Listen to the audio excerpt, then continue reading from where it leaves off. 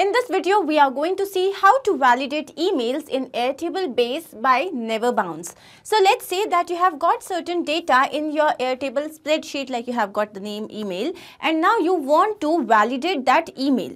So with the help of NeverBounce, you can do the same. Like NeverBounce is an email verification tool. So once you have verified, you can update your spreadsheet with the validation status. Now, how can you do that? For this, you will have to set up some integration between the two applications and the same thing can be done using Pabbly Connect software. Here, your trigger application would be Airtable and your action application would be NeverBounce and then against Airtable.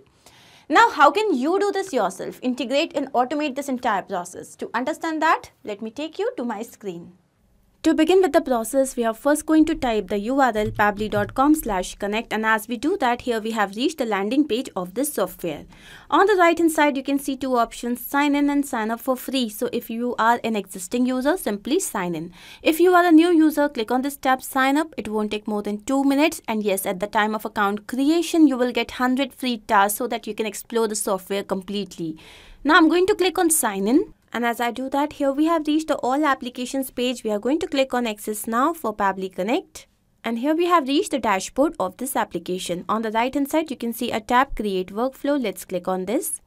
And another dialog box has appeared which is asking me to name this workflow. So here my objective is that I have got certain details in my Airtable like name and email address.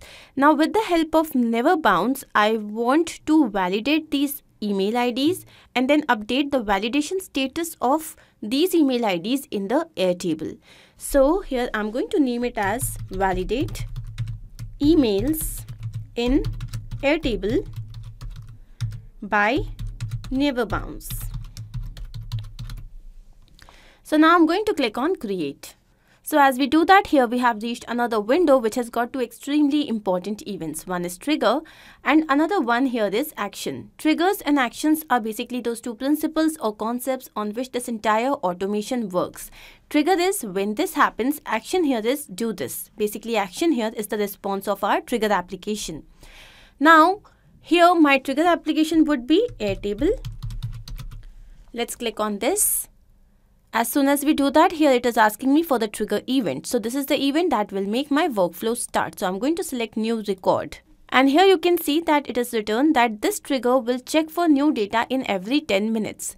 This basically means that this trigger application is polling based and it has a polling time of 10 minutes which means that this workflow will run after every 10 minutes to fetch for new data. So now I'm going to click on connect and as I do that here, Pabbly Connect is asking to connect itself with the Airtable account. I'm going to click on add new connection and here we have to provide the token so that this connection can be set up.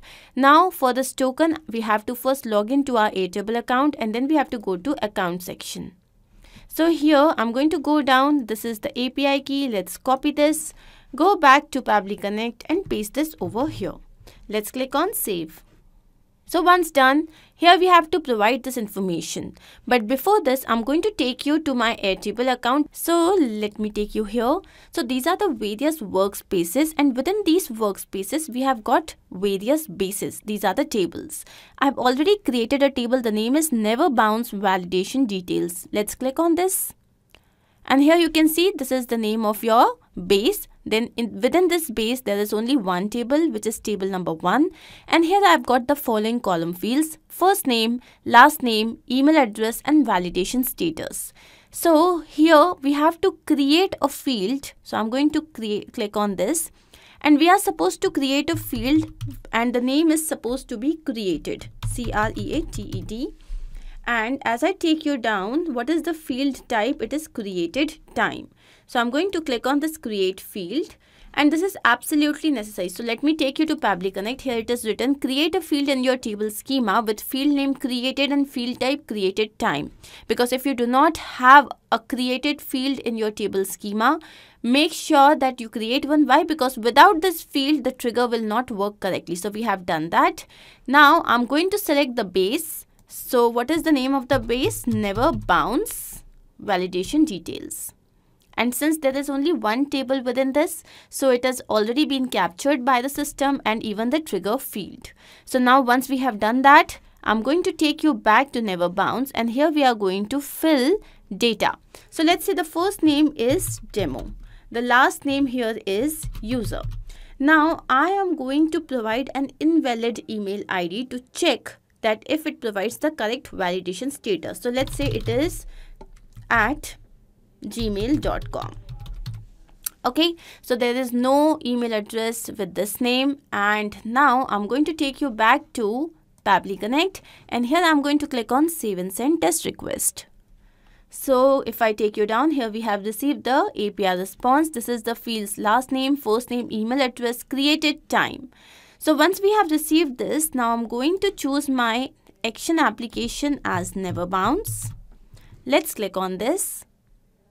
And here the action event would be to verify email address. Now I'm going to click on connect and here again, Pabbly Connect is asking to connect itself with the NeverBounce account. I'm going to click on add new connection and to set up this connection, we need the private API key.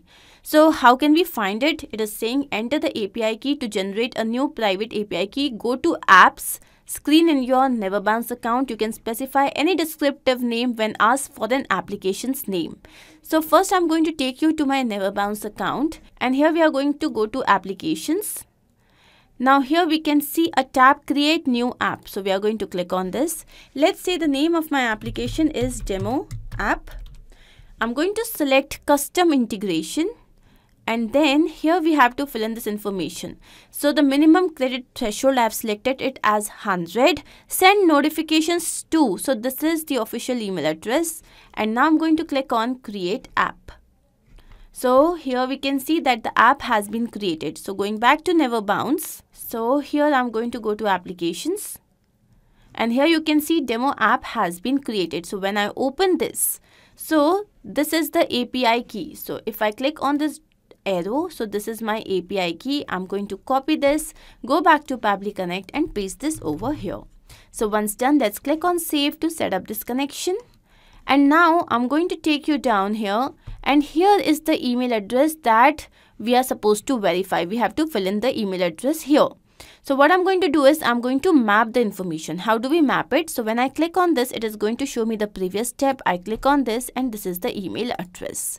This is how we map. Why is mapping important? Because if I write this manually, so every time the workflow runs, it will never take the new data into account. It is only going to go ahead with the manually written data. And thus, my workflow will be a waste. So now once we have mapped this, I'm going to click on save and send test request. So yes, here we can see that we have received the information and what does my result say? It says that this email address is an invalid email address. So once we have received this, what do I want? I want to update my Airtable account. So I'm going to click on this plus icon, add another action step. Again, I'm going to look for Airtable. Let's click on this. And the action event here would be to update my record and let's click on connect. So here I'm going to go ahead with the existing connection.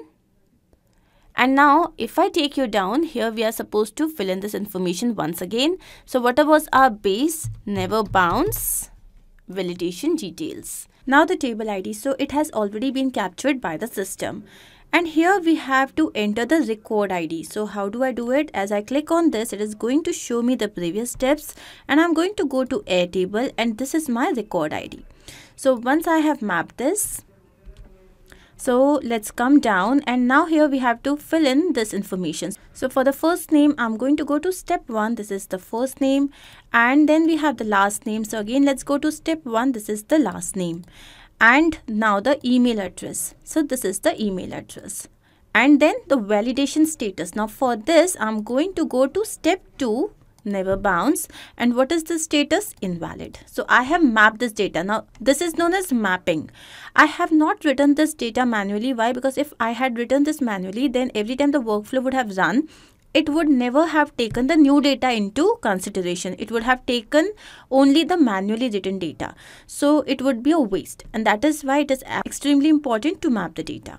Now, once I have filled in this information, I'm going to click on save and send test request. And as soon as I do that, here we have received the API response. So now I'm going to go to the Airtable spreadsheet and here you can see that it has been updated. This is the validation status which says that it is invalid which basically means that this integration process is a success. But now I need to check this in real time. So what I'm going to do is, so I'm going to add another detail. So let's say it is test new. Then we have the email address which is test new at pabblytudes.com. Now this is a valid email address. So as soon as I click on enter, so what should happen? Then automatically, you know, the status should be updated. But we also know that here Airtable has a polling time of 10 minutes. So now we are supposed to wait for 10 minutes so that the data can be updated. And here you can see that the validation status has been received which is valid. So this basically means that our entire integration process is a complete success. Now I'm going to take you back to Pabbly Connect to understand what we have done. So here our trigger application was Airtable where our event was new record. Then our action application was NeverBounce where the event was verify email address and our final action application was Airtable where we had updated the record. I hope this is absolutely clear to you. If in case you have any doubt you can refer to the workflow which is given in the description box of this video. You can also clone the same and start to process immediately. Apart from this if there is any specific integration that you wish to work on you can always write to us. Not only this, but you can integrate multiple applications using Pabbly Connect software. To ask any of your query, you have to write at forum.pabbly.com. You can also visit our website which is www.pabbly.com connect. To get all the details about the latest updates, the integrations and applications, you can visit our Facebook group. If in case you have found this video helpful, then do not forget to share this with your friends and colleagues so that they can also get into automation and make their life easy. I'm going to see you very soon with different integrations and automations. Do not forget to like, share and subscribe. Take care of yourself.